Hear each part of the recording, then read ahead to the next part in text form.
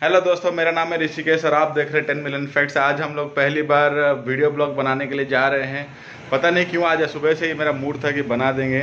मैं अभी चार पाँच दिन के लिए मैं आया हूँ अपने बहन के घर बरहमपुर में। एक्चुअली तो आप जानते ही होंगे, मैं हैदराबाद में रहता हूँ और मुझे घूमने का बहुत शौक़ है।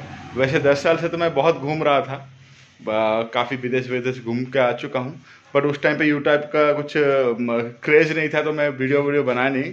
हालाँकि मेरे पास बहुत सारे फ़ोटोज़ हैं, कभी अगर ज़रूरत पड़े तो मैं दे दूँगा उसको। ये हमारा पहला ब्लॉग है तो हमने सोचा कि चलो एटलीस्ट भगवान जी का नाम सुन के लेके ही हम लोग शुरू करेंगे। तो हमारे उड़ीसा में और जो ब्रह्मपुर में कहावत है कि जो भी काम करें, आपके जो घर के कुल देवी हैं, जिसको हम घरेष्टो बोलते हैं तो हमारे घरेष्टो हैं माँ मोहरी कड़वा जो यहाँ से लगभग 11 से 15 किलोमीटर के अंदर में उनका स्थान है, पवित्र स्थान है। तो एक्चुअली जाने का कुछ प्रोग्राम नहीं था। मेरे भांजे लोग ही मुझे बहुत कल से जब मैं रात को पहुँचा मैं इधर, और तब से ही मुझे बोल रहे थे कि नहीं, मामा जी चलो चलते हैं, थोड़ा घूमने के आते हैं। तो मेरे दो भांजे हैं, यहाँ पे अभी बैठे हैं मेरे साथ। एक है सिल्कन और और एक है रोहन। तो ये मेरा छोटा भांजा है। रोहन आई हाय ये मेरे रोहन मेरा छोटा भांजा है मुझे हर चीज़ में यही मुझे गाइड करता है कि कैसे वीडियो करें क्या नहीं करें कैसे पोजीशन दें क्या करें। छोटा सा है बट बहुत ज़्यादा टैलेंटेड है तो हम लोग मिलके सब जा रहे हैं। और मेरा दोस्त भांजा है सिलकॉन हेलो और ये मेरा जितना भी वीडियो एडिटिंग का कोर्स है वही सब कुछ सिखाता है सब मुझे बहुत सिखाया भी है। तो चलिए देखते हैं कैसे क्या होता है। रहिए मेरे साथ टेन मिलियन फैक्ट्स में। भांजे लोग तो बोल रहे हैं कि कार में जाएँगे, पर मेरा मन है कि यार बुलेट में जाए। मेरा भैया का बुलेट है, कम से कम एक तीन चार साल पुराना है, उन्होंने ख़रीदा था बुलेट। वाइट कलर का मेरा जो फेवरेट बुलेट ही होता है, हर किसी का जितने भी लोग आजकल के ज़माने के हैं। तो बोल तो रहे थे कि कार लेके चलें, कार लेके चलें। देखते हैं अभी उनका क्या मन है। मेरे भांजे लोग तो रेडी हो गए यार कार लेके जाने का बोल रहे थे फिर ये लोग खुद ही खुद बाइक लेके बैठ गए हैं। क्या किसमें जाएँगे? बाइक में जाएँगे। चलो रेडी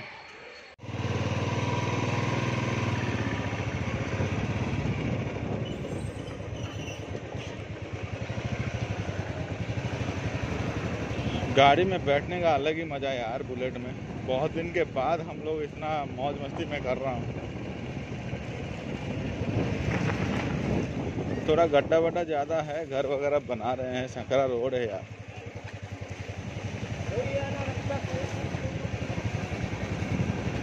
बरहमपुर का जो वातावरण है ना तो चाहे कुछ भी सिल्क सिटी के नाम से प्रसिद्ध है, पर अभी भी यार, गाँव देहात के तरह ही लोग वगैरह सब रहते हैं। बट एनी तरक्की के मोड़ पे तो चल रहा है बरहमपुर। गजला बरहमपुर यार। मेरा बचपन, मेरा सब कुछ बरहमपुर से स्टार्ट हुआ।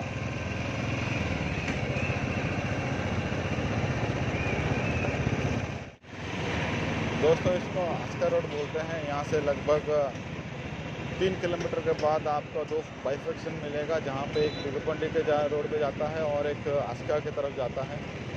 तो मज़ा है यार, ब्रह्मपुर में अलग ही स्वैग है इसमें। लोग बहुत मिलनसार हैं। आपको हर चीज़ के लिए आपको हेल्प करेंगे, भरोसा करेंगे, विश्वास क्या है सब कुछ आपको ब्रह्मपुर में ही मिलेगा। पहली बार कोई अगर बाहर से कोई आता तो कुछ भी पूछते हैं तो वो बहुत सपोर्ट करते हैं गोरखपुर के लोग।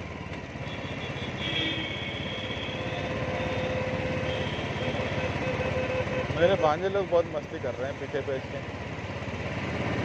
हालाँकि वो अलग बाइक में है, मैं अलग बाइक में क्या करें? एक गाड़ी में दो ही लोग सवार करते हैं।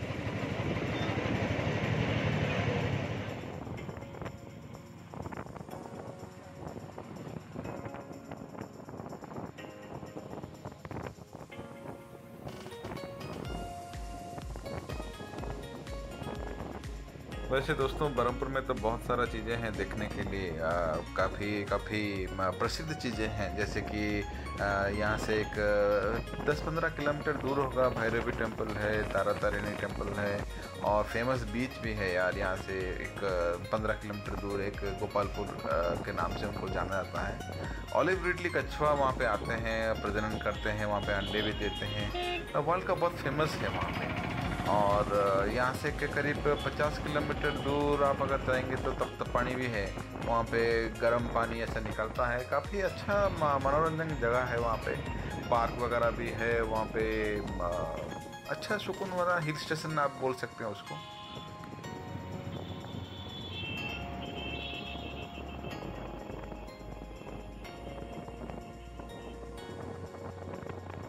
दोस्तों, अभी हम लोग फ़र्स्ट गेट के नज़दीक आ गए हैं। फ़र्स्ट गेट क्या होता है ना, अगर आप आसका से आप आएँगे तो पहले एक गेट पड़ता था वहाँ, यहाँ पे। वो गेट पे आपको चेक गेट बोल सकते हैं। पुलिस का एंट्री होता है, आपका हर चीज़ का नोटिफिकेशन देते हैं वो। और दोस्तों, ये सामने से आप अगर राइट साइड में जाएँगे तो आपको ये रास्ता जाएगा आस्का रोड जाएगा। और हम लोग जिस तरफ़ से जा रहे हैं, वो दिगपंडी होके वो भुवनेश्वर तक निकलेगा वो। दोस्तों, आज तो निकलने में ही थोड़ा लेट हो गया था, करीब करीब चार बज गया था, क्योंकि रोहन, वो घर चला गया था, और उसको मैंने फ़ोन भी किया था कि जल्दी आओ बोल के, पर वो साढ़े दो बजे तक तो नहा ही नहीं था। तो तीन बजे तक नहा के वो अपने घर में आया, और फ़ोन किया कि मामा, मुझे थोड़ा आने में थोड़ा लेट हो जाएगा। सिल्कन और मैं तो काफ़ी जल्दी से हम लोग रेडी होके पूरा इंतज़ार कर रहे थे कि कब रोहन आए और मिल के निकलेंगे। तो अगले वीडियो में हमारा गोपालपुर का टूर है। देखते हैं कि गोपालपुर के लिए हम जल्दी से जल्दी जाके और आपको इन्फॉर्मेशन दे सकें। ये तो अभी नया शुरुआत किए हैं। हम लोग तो पहला ब्लॉग है तो कुछ पता नहीं चल रहा कि कैसे करें कैसे नहीं दोस्तों, थोड़ा हमें सपोर्ट कीजिएगा ताकि हम आपको अगले वीडियो में और अच्छा आपको करके दिखाएँ। सुबह जब निकला था तो पता नहीं था कि पेट्रोल है कि नहीं है। अभी थोड़ा देखते हैं, अगर आगे में, सामने में कोई अगर पेट्रोल पंप दिखाई दे तो लगा देंगे पेट्रोल। डाल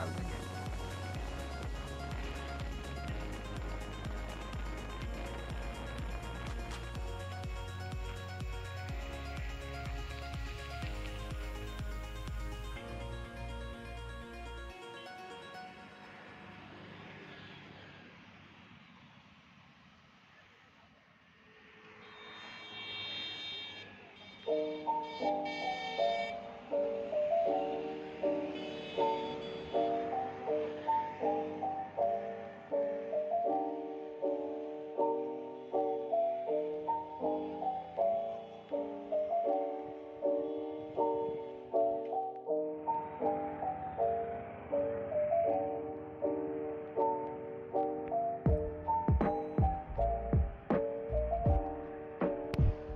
लीजिए, हम अभी गेट के पास आ गए हैं। यहाँ से करीब चार किलोमीटर होगा शायद मंदिर अपना। अभी आने के टाइम पे अभी वो पेट्रोल पंप पे एक गाड़ी पीछे में खड़ा था। उसमें वो तीन लोग सवार थे, उनको मतलब बड़े बदतमीज टाइप के वो बात कर रहे थे। अब क्या कर सकते हैं? अब किसको भी वो अपने धुन पे सवार थे।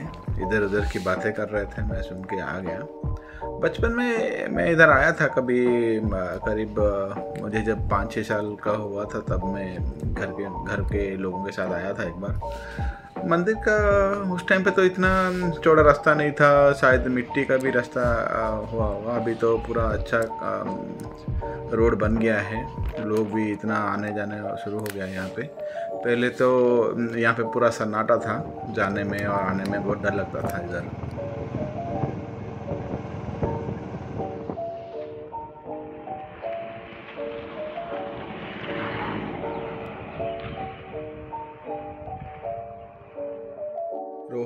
पीछे बैठा है, बोल रहा है कि थोड़ा मामा गाड़ी रोको गाड़ी रोको, थोड़ा रुकते हैं, देखते हैं कि क्या है, क्या नहीं उसका सिचुएशन दोस्तों, हम लोग आधे रास्ते आ गए हैं, करीब करीब सात, आठ किलोमीटर तो आ गए हैं, यहाँ से लगभग तीन किलोमीटर दूर है. हम लोग बस मंदिर के पास में ही पहुँचने वाले हैं. अच्छा सुकून वाला जगह है, हर तरह हरियाली हरियाली है, खेती वेती मस्त है. हम लोग शहर में जो रहते हैं तो ये सब देखना तो बहुत मुश्किल का होता है वहाँ पे. और यहाँ पे एक आते हैं तो आप अलग से एक शांति मिलता है आपको। मज़ा आ गया इस टूर पे।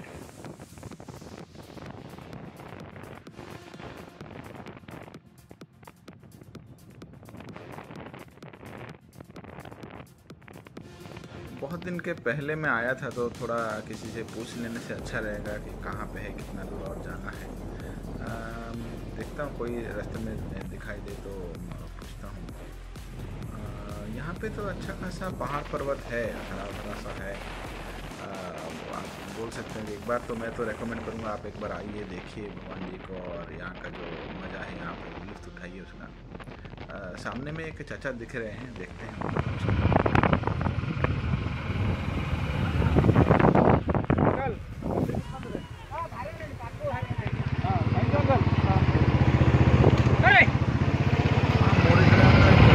अलग सा कहावत है कि हमारे जो यहाँ के जो महाराज थे तो वो बड़े साधक थे माँ मोहरी कड़वा के।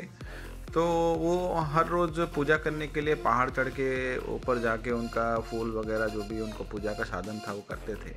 तो एक दिन क्या हुआ, माँ खुद विराजमान होके उनको बोले कि बहुत भक्त लोग इतना चढ़ा, चढ़ाई चढ़ने में थोड़ा उनको परेशान होता है।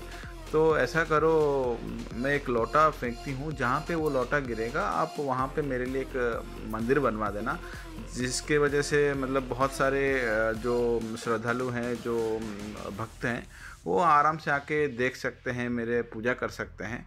तो इस लिहाज से उन्होंने फिर नीचे में उनका मंदिर बनाए थे भगवान माता का। तो अभी लगभग हम लोग आ गए हैं यार। लिए मोहरी कड़ा पहुँच गए हैं। ये मंदिर का मुख्य द्वार है, जहाँ से हम लोग अंदर की तरफ़ जा सकते हैं। आप यहाँ से भी देख सकते हैं माता जी का मंदिर। बहुत ही शानदार मंदिर है। काफ़ी पुराना और दिव्य मंदिर है। यहाँ पे बहुत लोगों का यहाँ पे आना जाना है।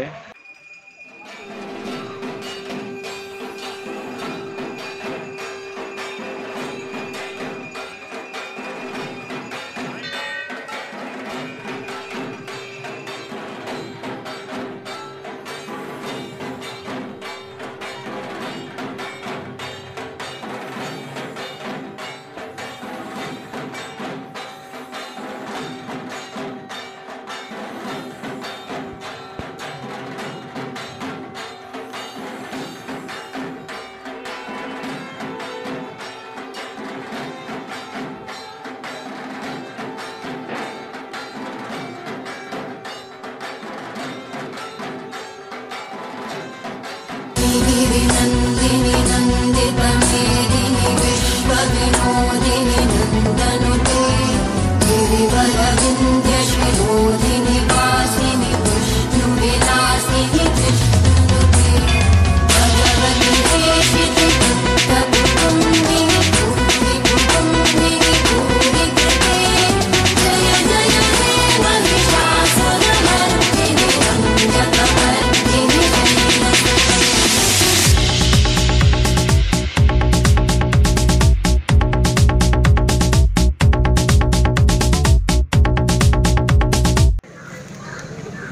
यहाँ पे एक छोटा सा एक पार्क भी बनाए हैं यहाँ पे। काफ़ी अच्छा पार्क बनाए हैं यहाँ पे। हम लोग चलते हैं पार्क देखने के लिए, घूमने के लिए क्या क्या और भी चीज़ें हैं देखने के लिए चलते हैं।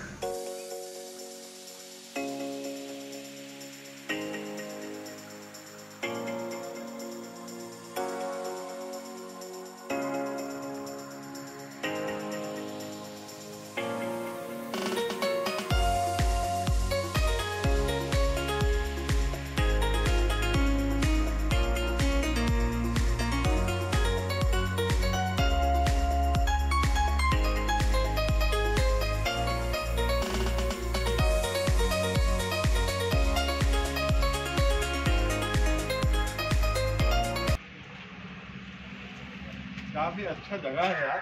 बनाया है। बैठने के लिए तो और भी अच्छा लगा। है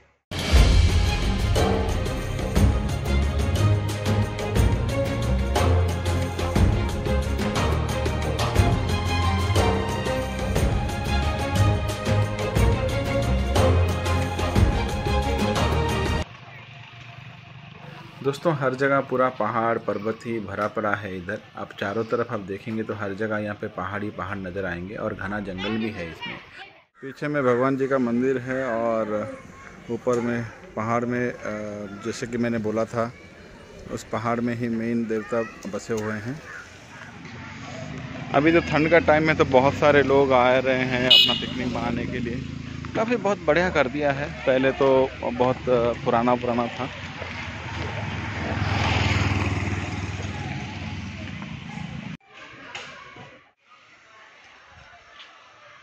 शांत परिवेश है यहाँ पे।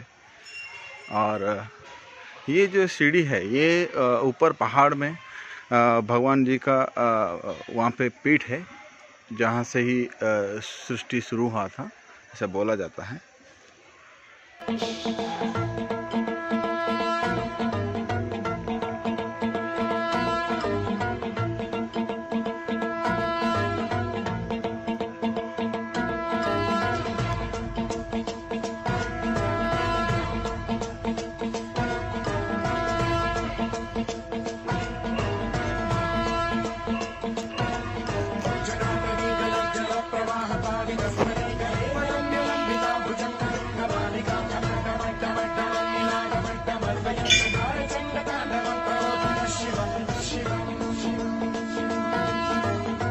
हमारे अ, यहाँ पे कालेश्वर मंदिर है मंदिर के पुजारी जी हमारे साथ हैं अ, उनके साथ अभी थोड़ा बात करते हैं हम लोग ଏଠି ଅଛନ୍ତି କାଳେଶ୍ୱର ମହାଦେବ ଅଛନ୍ତି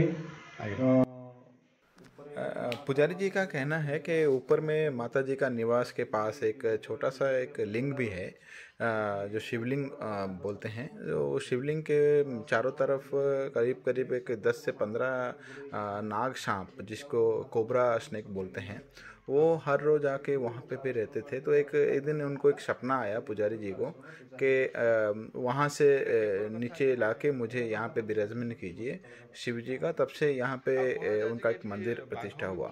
ये करीब सत्तर, साठ, सत्तर साल पुराने की बात है ये।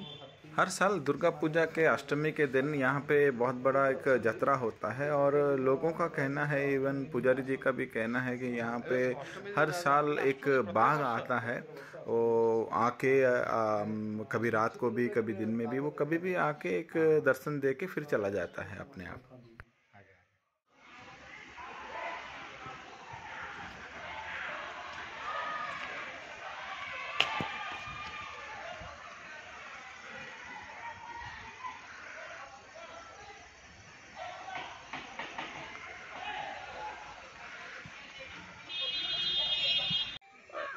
दोस्तों, यही पहाड़ का ऊपर जाने के लिए यही मुख्य रास्ता है। यहाँ से ही लोग पूरा पहाड़ चढ़ते हैं। कम से कम एक हज़ार स्टेयर्स होते हैं इसमें चढ़ने के लिए। और कहा जाता है कि बीच में थोड़ा स्टेयर्स पे भी नहीं है। पहाड़ों में भी आपको चलना पड़ता है।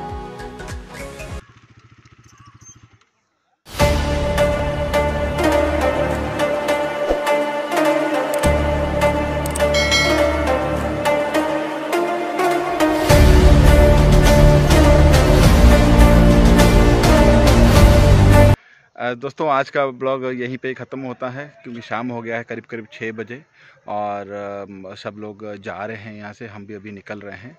तो अगला वीडियो हमारा नेक्स्ट आ रहा है कुछ ही दिनों में तो फिर मिलते हैं यार, अगले वीडियो में। सपोर्ट चाहिए और हमारा चैनल्स को सब्सक्राइब कर दीजिए, टेन मिलियन फैक्ट्स यूट्यूब में।